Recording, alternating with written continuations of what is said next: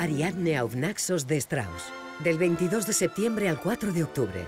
Únete a la fuerza del Liceo.